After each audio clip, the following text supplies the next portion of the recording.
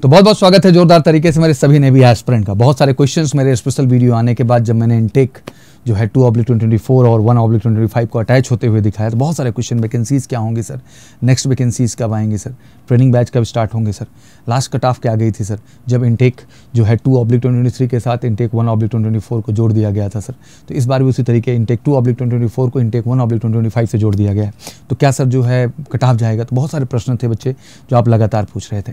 But एक बात फिर से मैं ऐड करना चाहूँगा। वीडियो शुरू हो रही बहुत अहम है और हर वीडियो में लगातार कह रहा हूँ मेरे बच्चा क्या नो समाज में एक अलग तरह का नकारात्मकता ज़रूर है? बट स्ट्रॉन्ग प्रॉमिस ये है कि हर बच्चा जो इंडियन नेवी का हिस्सा बन रहा है इंडियन एयरफोर्स का बन रहा है इंडियन आर्मी का, ये हर बच्चा परमानेंट होगा बेटा। मेरी इस बात को बहुत अच्छे से ख्याल रखना। आज टेन प्लस टू लेवल पे अगर हम करियर ऑप्शन की बात करते हैं यार तो इससे बेहतर करियर है कहाँ? आप ट्रेनिंग लेने जाते हो, आपको सैलरी भी मिलती है। आप इतनी स्किल्ड ट्रेनिंग भी पाते हैं, अपना ग्रेजुएशन कंप्लीट करते हैं और टेक्निकल आप एयरक्राफ्ट मेंटेनेंस इंजीनियर बनते हैं। नेवी के टेक्निकल इंजीनियर आप बनते हैं। कितनी बड़ी अपॉर्चुनिटी है यार। और इतने बड़े टेक्नीशियन को आपको लगता है कोई बाहर करेगा जब आप बेल ट्रेंड होंगे बेल तैयार होंगे। वैसे भी जानते हैं दो साल से वैकेंसी नहीं आई है लास्ट जो है सेशन में अग्निवीर शिफ्ट करने से पहले। ऑलरेडी बहुत शॉर्टेज चल रही फौज के अंदर। ऐसा भी वैकेंसी नहीं कि आठ दस हज़ार वैकेंसी भेज दिया वैकेंसी भी अनुपात में ही आ रही है। तो आज तो बहुत हैवी शॉर्टेज है। और लगातार अकेडमीज़ में और मेरी बात होती है जब वहाँ के ऑफिसर से।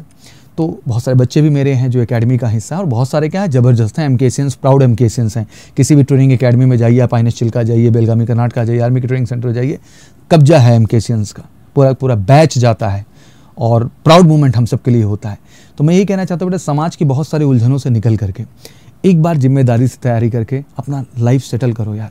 गाँव में घूम रहे हो, कुछ नहीं कर रहे हो बीए कर रहे हो, उससे क्या ही होना है लाइफ में? अगर ये बीए जो करने का प्लान है, जितने पैसे बीए करने में, ये सब करने में खर्च करते हो गाँव में बैठ करके, एक बार लग के साल छः महीने तैयारी कर लो यार, सफलता मिल जाए। आज यही हुआ ना। इतना लोवेस्ट कट ऑफ़ गया। और लोवेस्ट कट ऑफ़ क्या? मैं कहूँगा कट ऑफ़ तो ठीक ही रहा, क्योंकि पेपर का लेवल हल्का नहीं था यार। पेपर का लेवल बहुत अच्छा था स्टेज वन का। मैथ फिजिक्स ने घुमाया मेरे प्यारे बच्चों को। बट उसके बावजूद बच्चों ने किया। लेकिन यार जो दस नंबर पा रहा है, पंद्रह नंबर पा रहा है, बीस नंबर पा रहा है, सोचो सौ नंबर में। क्या है ये? किस आधार की एक्सपेक्टेशन आप रख रहे हैं? ऐसे सफलता मिलेगी भाई, ऐसे ज़िंदगी में आगे जाओगे। और इससे बेहतर कुछ है नहीं और कोई करियर ऑप्शन है भी नहीं टेन प्लस टू लेवल पे अगर इस भ्रम में आप जी रहे हैं, ठीक है ना? और सब लोग आई नहीं बन जाओगे। 500 सीट आती है, इतने ज़बरदस्त पार्टिसिपेशन के बाद बीस बीस लाख लोग, और एक से एक एक्स्ट्रा टैलेंटेड लोग बैठे हैं पूरे भारत से। तो थोड़ा जागिए, होश में आइए टेन प्लस टू हो गया है। एक मिडिल क्लास आम परिवार के लिए इससे बेहतर कुछ नहीं है। और ये बेहतर है इसलिए क्योंकि अग्निवीर का टैग मत लगाइए, इसलिए बेहतर है कि आप सब परमानेंट होंगे। कह दिया मतलब कह दिया।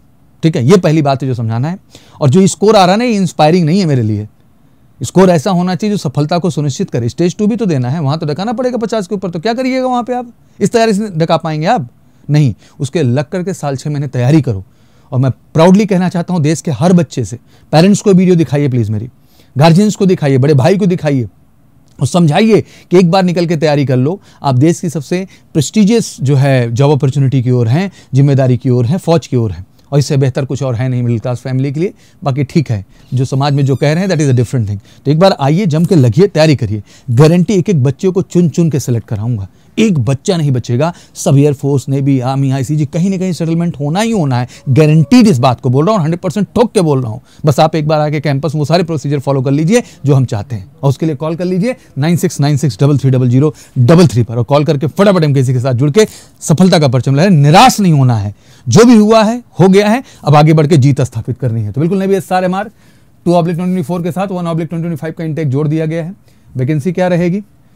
इनटेक अगर मैं वही two oblique twenty three one oblique twenty four को देखूँ सेम चीज़ तो रिपीट हो गई यहाँ भी ना। यहाँ टू ट्वेंटी थ्री था, यहाँ टू ट्वेंटी फोर है। यहाँ वन ट्वेंटी फोर जुड़ गया था, यहाँ वन ट्वेंटी फाइव जुड़ गया। फ़र्स्ट बैच में सत्ताईस सौ गए थे सेकंड बैच में पंद्रह सौ गए थे मतलब बयालीस सौ वैकेंसी थी। बट इस बार बढ़ रही है, पैंतालीस सौ के आसपास वैकेंसी है, ठीक है ना? तो फ़र्स्ट बैच में थ्री थाउज़ेंड के आसपास जा रहे हैं और सेकंड बैच में अराउंड फिफ्टीन हंड्रेड कैंडिडेट्स जो एज यूजल मेंटेन था, वही रहना है, इस पर कोई चेंज नहीं आएगा।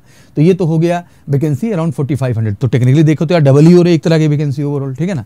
स्टेज टू की बात कर लें कट ऑफ़ की सेफ़ स्कोर क्या है? तो बहुत क्लियर बोर्ड देता हूँ यूपी एमपी राजस्थान हरियाणा और बिहार का जितना हमारा बच्चा है।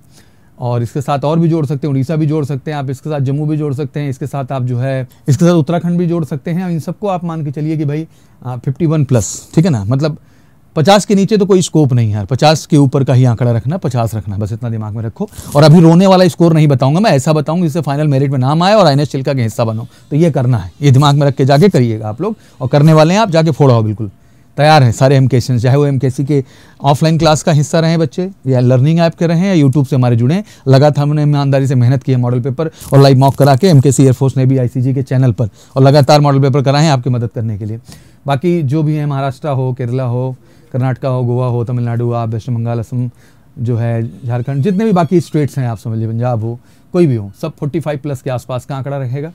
एंड बाकी जितने भी बचते हों, पैंतीस से चालीस के बीच का स्कोर रहेगा। मैं हाईएस्ट रख रहा हूँ, आप भी समझ रहे हैं। इसलिए क्योंकि मैं चाहता हूँ श्योर शॉर्ट गेम हो। तो दिमाग में इतने राज्य के जो बच्चे हैं, ये दिमाग में स्कोर लेके जाएँगे अगर कुछ करना है तो। नहीं भी सारे मार्ग नई वैकेंसी कब आएगी? तो भाई क्लियर है, सब देख ही लिए थे। टू अब्लिक ट्वेंटी ही होगा। एंड मई uh, से जून में एक्सपेक्टेड है। अप्रैल में हमारी वैसे एक्सपेक्टेशन है कि अप्रैल में करेंगे लेकिन अप्रैल में इस बैच की ज्वाइनिंग जाएगी। इसके बाद ही वैकेंसी इनको रिलीज़ करना तो अप्रैल लास्ट में अप्रैल लास्ट में या फिर नौ मई के आपको फ़र्स्ट वीक में वैकेंसी देखने को मिल जाएगी क्लियर तरीके से। तो ये रहा वैकेंसी की डेट्स भी क्लियर हैं। एयरफोर्स का एग्ज़ाम अट्ठारह अक्टूबर से शुरू ही हो रहा है बच्चा। आई भी सितंबर में देने जा रहे हैं। आर्मी का भी एग्ज़ाम जो है वो अप्रैल में प्रोजेक्टेड है। तो मैं यही कहना चाहूँगा कि अगला साल बहुत सुखद है। एयरफोर्स का भी है तब भी लग जाओ। नेवी है तब भी लग जाओ। आईसीजी है, तब भी लग जाओ। आर्मी है, तब भी लग जाओ। बस लग जाओ मेरे लाल। हंड्रेड परसेंट कहीं ना कहीं हो जाओगे। बैठ के केवल प्रवचन करने से नहीं होगा। आके लग करके ईमानदारी से मेहनत करना होगा। रिटर्न पे भी भैया, फ़िज़िकल पे भी, मेडिकल के भी। और G D S R T मतलब कम्युनिकेशन स्किल्स पर्सनैलिटी पे भी। और हर चीज़ का कम्बो भारत में एक ही जगह है, वो है मेजर कलसी क्लासेस तो बिल्कुल आइए ऑफलाइन ऑनलाइन जहाँ कंफर्टेबल हो, जुड़िए कॉल करके। Nine six nine six double three double zero double three पर। अब ये इन्फॉर्मेशन थी जो मैंने अपडेट कर दी है। क्लैरिटी आ चुकी होगी। अब दस जगह जाके वीडियो देखने की ज़रूरत नहीं है। अब लग के तैयारी करो, ठीक है ना? बाकी कोई क्वारी हो तो कॉल तो आप कर ही सकते हैं। बाकी कोई क्वेश्चन हो कमेंट सेक्शन में ज़रूर बताएँ, जिससे कि हम आके फिर से आपकी हर समस्या का निदान कर सकें। Thank you so much wish good luck जय हिंद, जय भारत।